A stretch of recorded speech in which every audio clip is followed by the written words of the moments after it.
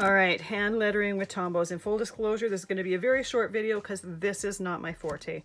This is something that takes some practice. So on your supply list, I have a link to a blog post from someone else that has a bunch of different great resources.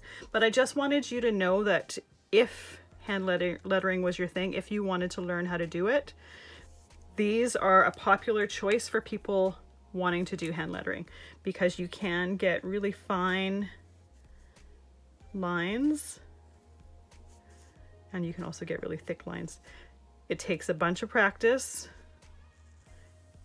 and quite frankly I haven't done the practice for it so I don't do hand lettering. I love watching it. I could watch hand lettering videos for hours but we all have strengths and weaknesses. This is not my strength.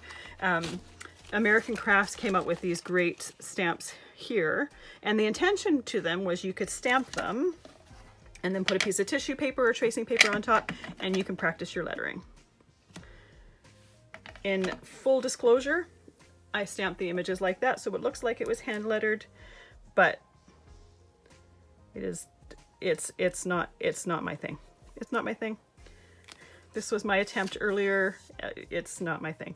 But I just wanted you to know, I just wanted to touch upon it, that these are great tools for doing that. They're inexpensive tools for doing that. So if it's something that you're wanting to do and try, check out the link that I have on the supply list and it'll show you a bunch of resources that will point you in the right direction for that.